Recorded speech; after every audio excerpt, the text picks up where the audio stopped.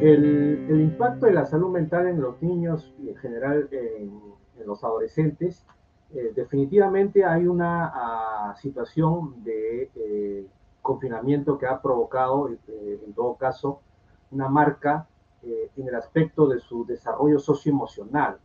Sobre todo lo, los que han sido más golpeados en esta situación han sido los niños más pequeños, es decir, los, los de educación inicial, que tienen que, que digamos, eh, hacer ese, ese contacto en la escuela, que justamente forma parte que a través de, de los juegos, a través de esas interacciones que el niño hace, su desarrollo socioemocional.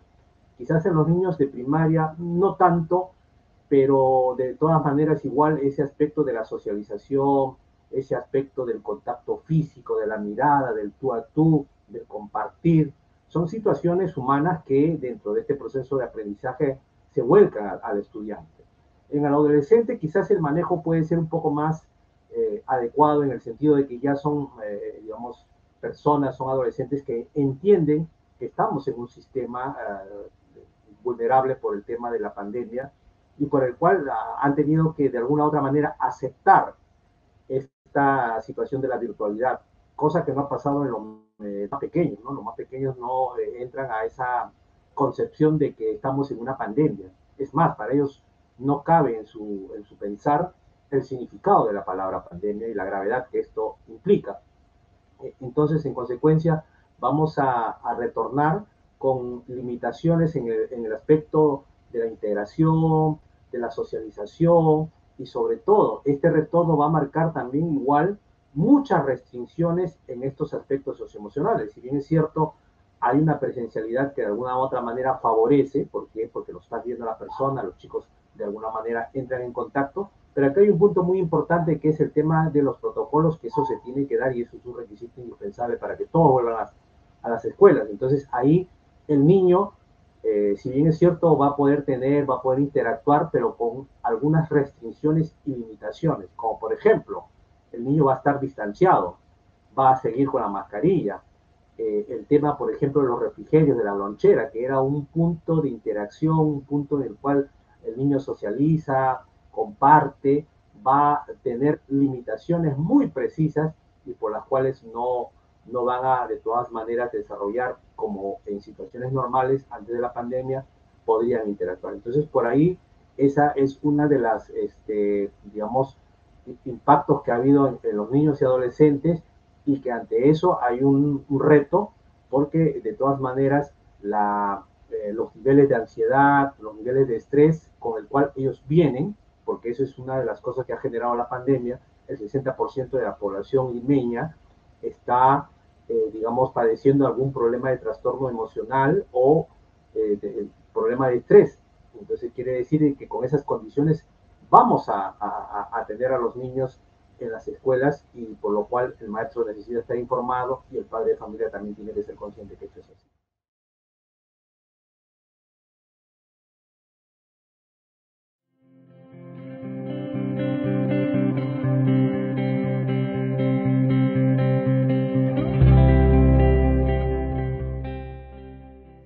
Como decía, eh, este retorno es un retorno con muchas limitaciones. Es un retorno de alguna u otra manera eh, importante, sí, pero de todas maneras eh, tenemos que entender de que no es un retorno a la normalidad.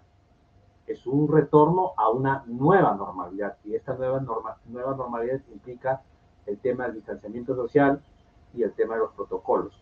Se sabe de que las escuelas van a adoptar un sistema de, educación híbrida. ¿Qué quiere decir educación híbrida?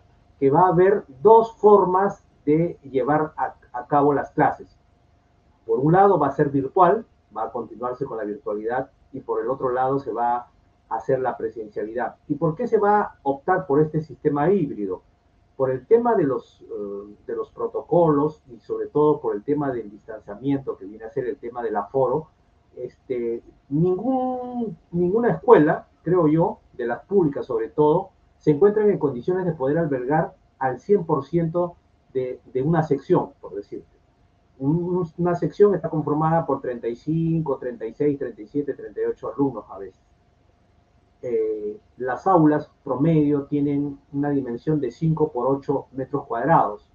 Quiere decir que en esas dimensiones solamente podrían albergar alrededor de 15, 16 alumnos. Y eso implica que un aula que tiene 38, 35 alumnos tiene que partirse en dos.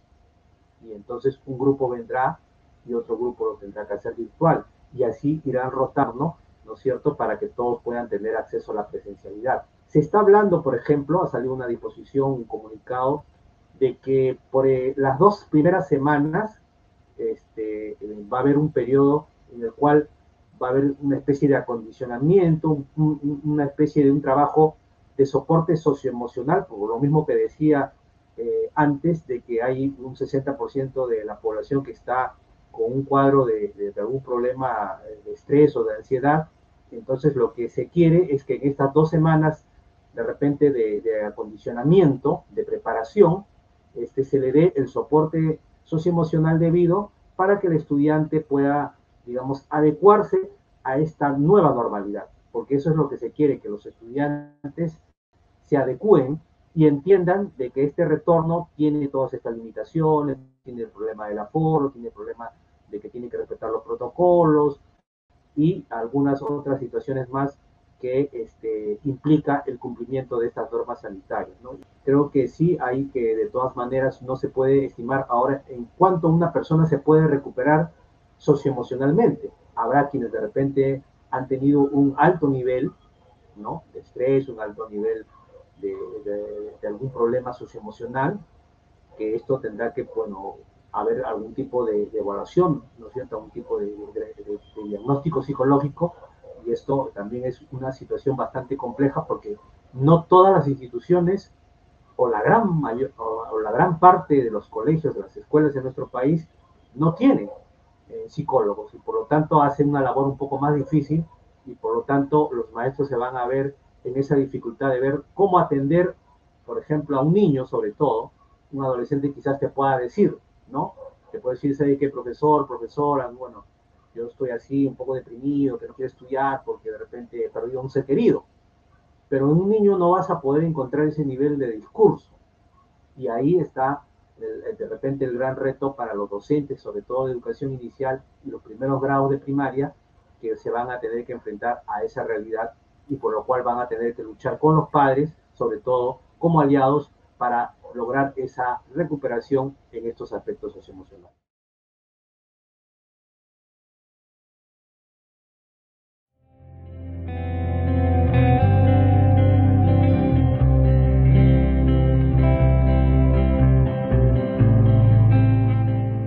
Bueno, ¿cómo podemos preparar a los niños para, para esta situación de, de, volver a clase? ¿no? Porque si bien es cierto, como te decía, eh, eh, los niños, los adolescentes vienen con algún problema eh, emocional. El, el, tener la mascarilla muchas o pocas veces nos puede ayudar a tomar una interpretación del aspecto de la expresión facial. Y nuestra expresión los seres humanos somos eh, expresivos por naturaleza, entonces un disgusto, una alegría la podemos ver en, una sonrisa, lo podemos ver en un tono de voz, lo podemos ver a veces en una mirada, en un gesto. Entonces la mascarilla está restando prácticamente un 50% de la observación a eso.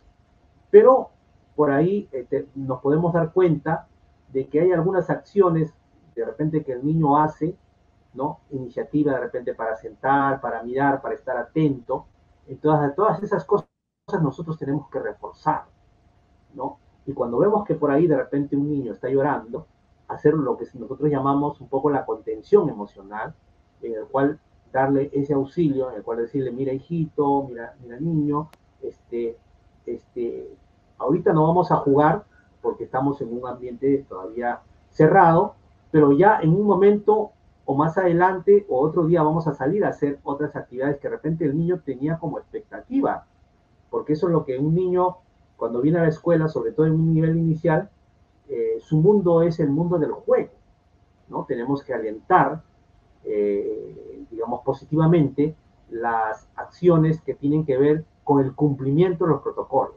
Entonces, darle reforzamiento, por ejemplo, cuando vamos que el niño eh, saluda así, ¿no? Entonces ya antes los niños que decían, nos abrace un, un besito a la mis. Pues ahora no podemos hacer eso. Entonces, pero de repente podemos cogernos los puñitos o, darnos una palmadita así rápido y nuevamente hacerle ver que, que tenemos que, por ejemplo, desinfectarnos las manos, ¿no? Por el alcohol. Entonces, son cosas que de repente debemos de inculcar y de reforzar al niño para que no sienta esta limitación o esta frustración de poder, de no poder actuar como comúnmente o cotidianamente podría hacerlo en condiciones sin pandemia.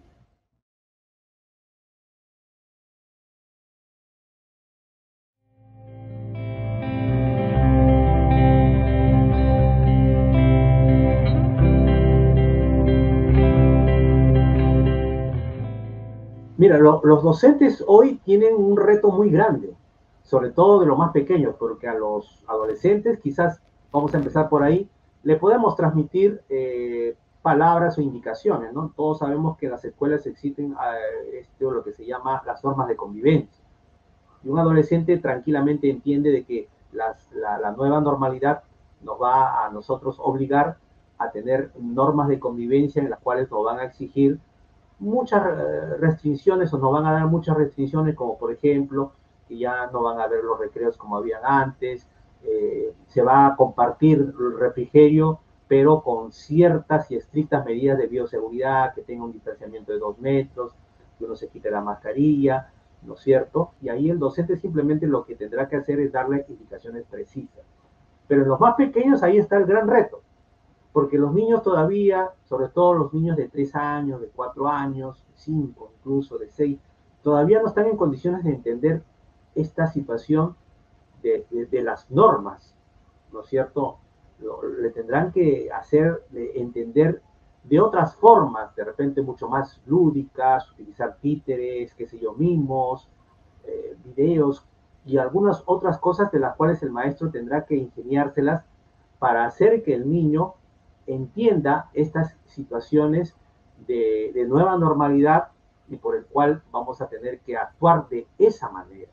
Eh, eh, eso lo tiene que la maestra tratar de, muchas formas, hacerle entender al niño para que eh, el niño pueda llevar, digamos, esta situación de, retorno, digamos, con menos dificultad, con menos frustración, digamos, en el de no poder seguir como de repente el niño eh, espera seguirlo, ¿no? Por eso hay una especie de, de, transición en este retorno, ¿no? Es una transición, por eso te digo, han sacado un comunicado, una norma en el cual sugiere, recomienda que estas dos primeras semanas tienen que ser semanas de soporte socioemocional, es decir, para que el maestro entre en contacto con los alumnos, pueda ver cómo está antes de ir a entrar a la parte académica ver primero estos aspectos socioemocionales, trabajarlos para luego, después de estas dos semanas, ya ir entrando a, de lleno a lo que es la parte académica. Y el papá también tiene que entender, porque esa es la otra labor que tiene que hacer el maestro. Hoy, más que nunca, tiene que estar de la par con este, los padres como aliados para que haya un éxito eh, eh, eh, en el año académico, porque se habla de que los, los años anteriores han sido un fracaso escolar, de lo cual creo yo eh, no es tanto así, pero de todas maneras ha habido un, un, retraso en cuanto a los logros que de repente en condiciones normales se podría haber alcanzado.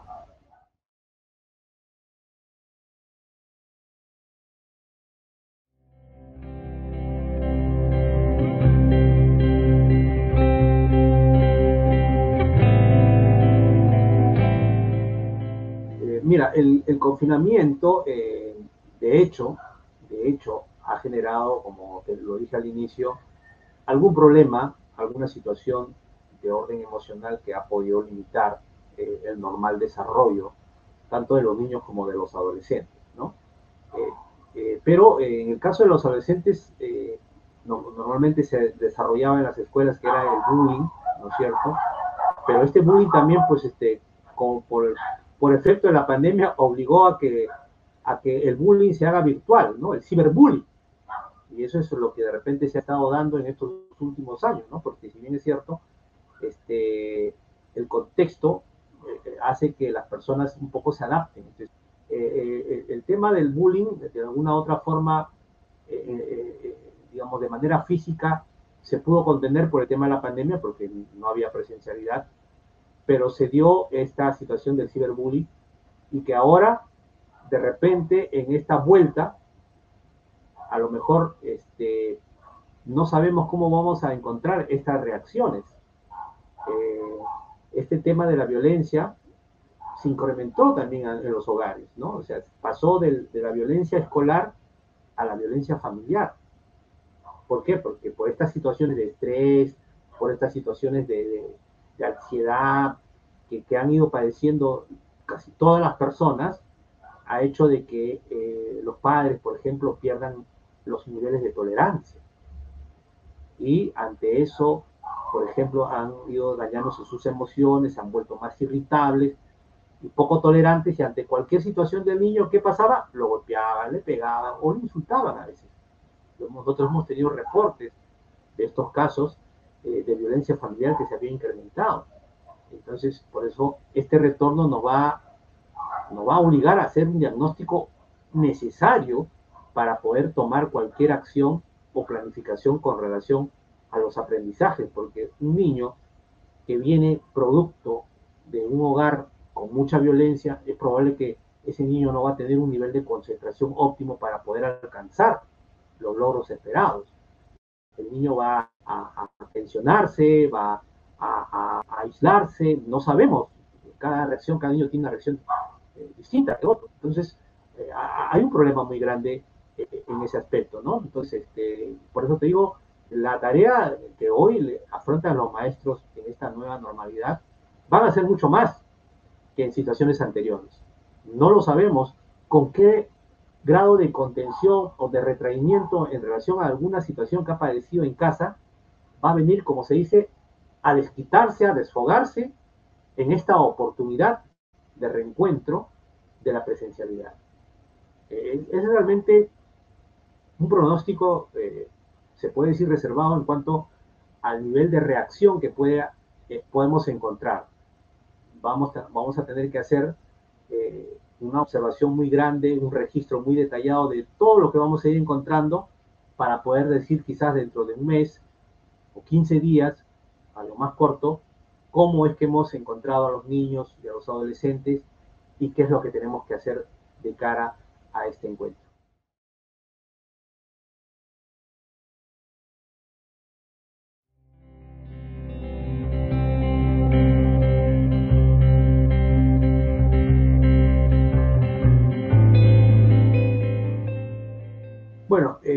Se habla, y hay muchos eh, quienes opinan, de que estos dos años de pandemia han sido un fracaso, un año de fracaso.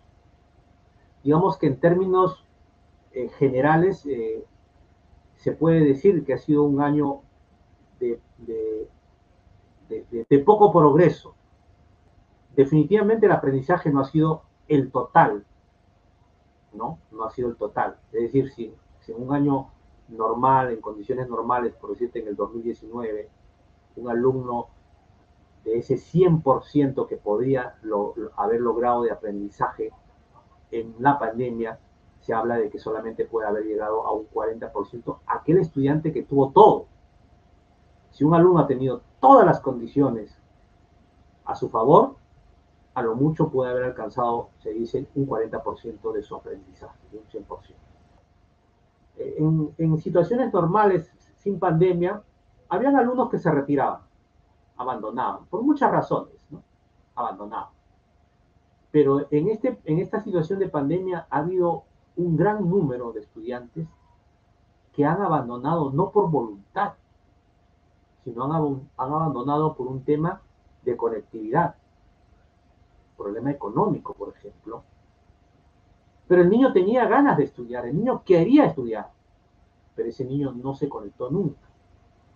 Y por lo tanto, ¿cómo pasaba al registro?